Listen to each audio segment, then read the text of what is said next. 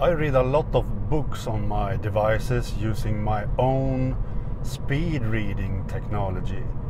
And it's important to have this feature for me because then I read books a lot faster than usual. And I've been using the app uh, Dream Reader, Voice Dream Reader on my iPhone and iPad and it syncs my books and where I am in the books and so on. But now when I'm using a Chromebook, I would like to have an app that syncs even to my Chromebook and maybe even an Android phone. So I have started to use uh, Google Play Books on my Chromebook, my iPhone and iPad.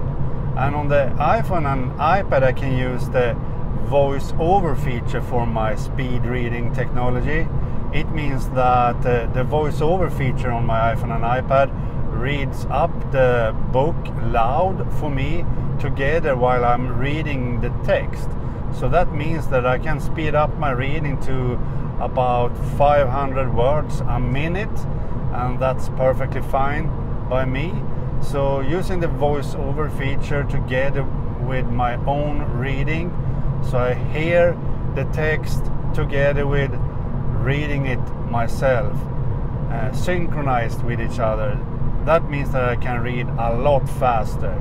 And that voiceover feature works great together with uh, Google Play Books. Um, excellent, really. So now I would like to have that feature on my Chromebook. And I have looked at the text to speech engines that is in the Chrome Web Store but they don't work so good with uh, Google Play Books, unfortunately.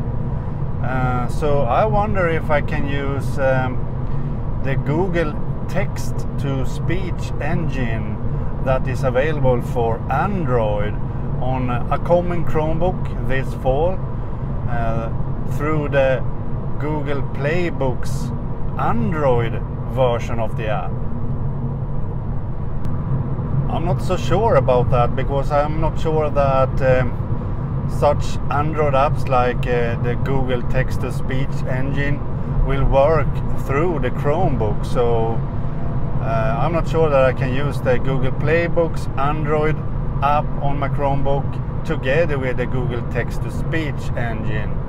Uh, I don't think that will work. So uh, it would be cool if an a Chromebook user could test that on their Asus Flip Chromebooks now, installing the Google text-to-speech engine from the Android Google Play Store and also the Google Play Book app. So testing to read an ebook using the text-to-speech engine on a Chromebook. That would be cool if anyone can try. Maybe it's too early though.